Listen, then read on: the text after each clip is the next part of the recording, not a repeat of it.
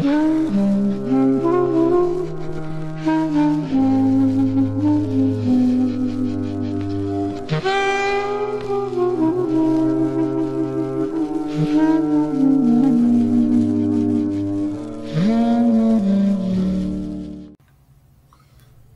えば、岩という沈黙者があり、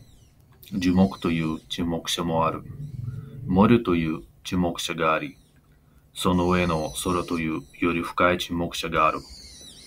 沈黙者たちがなぜ沈黙者であるのか、音を解き、それは最も深い唯一の言葉を正しく保ち続けるためであると、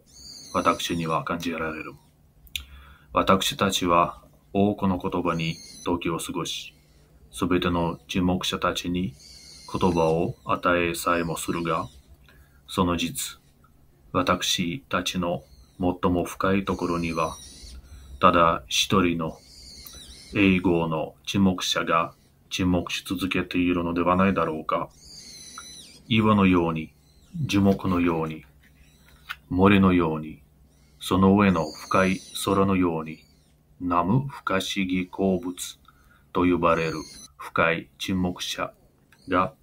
沈黙し続けているのではないだろうか。